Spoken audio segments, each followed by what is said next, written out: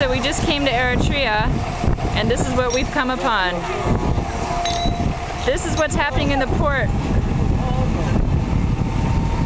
This is what's happening in the port that we just pulled up to. Crazy eye. These cows are being sent to, um, where are they going? Yemen. There they are. When cows fly.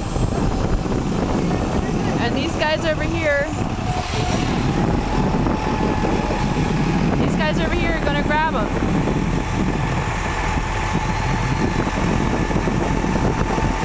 Wow. Cow. It's horrible, eh? That's it. They're on the way to Yemen.